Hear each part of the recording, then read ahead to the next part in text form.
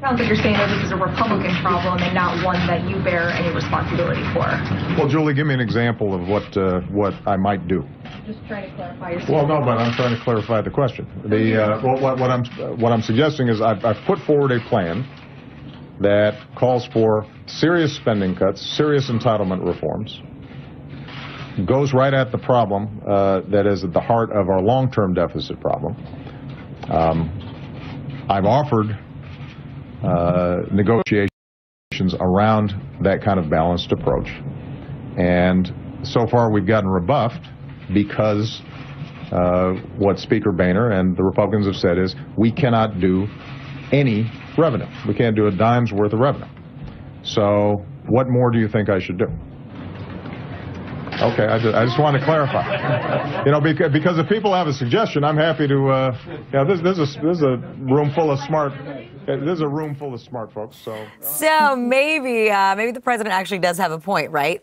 It might solve things if a bunch of people, smart people outside of the White House, came up with a plan and really worked it out. But oh wait, maybe the Senate should do that. Maybe the super committee that was supposed to come up with this in the maybe beginning the people should have whose done job that. it is to do it. Well, look, I think that he does have a point because you have to realize that, that his position and the position of Democrats has been unchanged throughout the process. They've always called for a combination of spending cuts and revenue raisers, and uh, Republicans have declared any new tax revenues off the table. So that is that is a problem from the sort of larger view of compromise. And I, you know, certainly one of the other things that's worth pointing out is that, as the president mentioned, he was trying to negotiate a grand bargain with House Speaker John Boehner during fiscal cliff negotiations in December. And the very last proposal from the White House was a close to one to one ratio of spending cuts to new revenues. And it also included unpopular um, you know, an unpopular Social Security cut known as chain CPI, very unpopular with Democrats and progressives, but the, the president put it on the table.